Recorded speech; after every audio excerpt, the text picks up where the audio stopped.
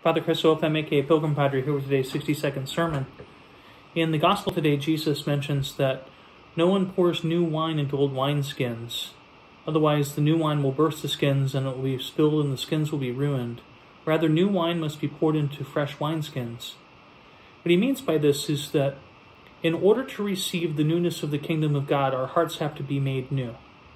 Because the wine of the Holy Spirit, the new wine, does not get poured into an old wineskin that is an unrenewed heart or an unregenerated heart. Because if our hearts are set on what is fleshly, then they will not be seeking what the Spirit of God wants. Whereas when they are recreated by the Spirit of God, God's Holy Spirit recreating them, then they search after the new wine of the of the Holy Spirit, the new wine of the kingdom. So we ask the Lord for the grace this day to be made into new wineskins and receive the new wine.